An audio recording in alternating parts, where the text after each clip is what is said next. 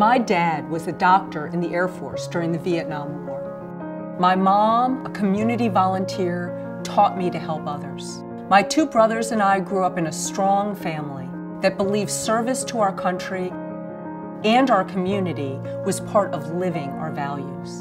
And then when I was around 13 years old, just entering junior high school, I met Mrs. Pass, an American history teacher from a small town in North Carolina who taught me what our Constitution and the Bill of Rights meant.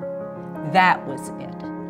I learned what made our country special from an outstanding teacher. Individual freedom, equal opportunity, personal liberty. Mrs. Pass taught that these values were part of our nation's promise to make people's lives better. And that promise became my life's work.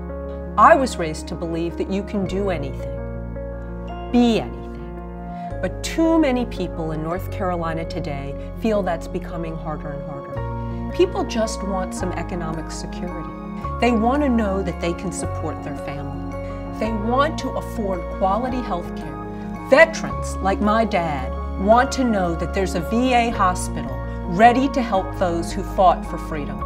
Seniors want to know that Medicare and Social Security that they paid for and were promised will be there. Parents want to know that their kids can realize their full potential without being crushed by the weight of student loan debt. We all want a government that puts people first. That's why I'm running for United States Senate. No, I don't have every answer, and I won't promise to make all problems immediately disappear.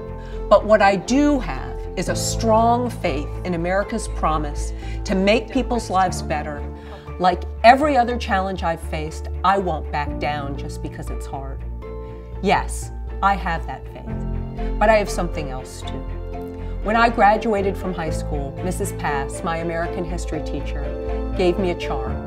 I put it on a chain and wear it around my neck to this day. It reminds me what I learned from her all those years ago. Where there is freedom, there is opportunity. Where people's rights are threatened, they must be defended. And all Americans are entitled to an elected government that actually solves problems for good. I'm Deborah Ross, and I look forward to seeing you on the campaign trail.